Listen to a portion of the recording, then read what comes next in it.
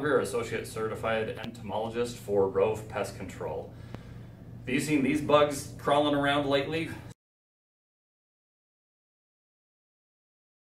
seen a lot of posts for people trying to figure out what they are. In fact, my kids the other day came in telling me that they had found the devil bug incarnate, and so I had to run out to see what it was, and turned out to be just a ladybug larva. And right now they're in that adolescent stage, getting ready to develop. So I let them know those are good bugs. They'll eat actually up to 5,000 aphids in a lifetime. So as far as garden control, that's an amazing insect.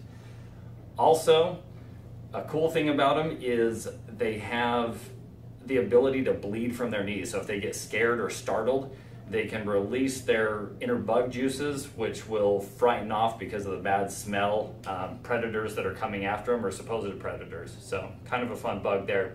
As far as control for those, if they're just ladybugs, really don't need to do anything. They're not going to mass reproduce or cause any problems. The only one you really have to worry about is the Asian lady beetle, which has a tendency to fly in off of farms and crops and overwinter inside of homes. So if you have any issues with those, just making sure that you treat with a good product that's going to have a good residual, caulk and seal entry point so they can't find their way in, or call a professional if you need some help.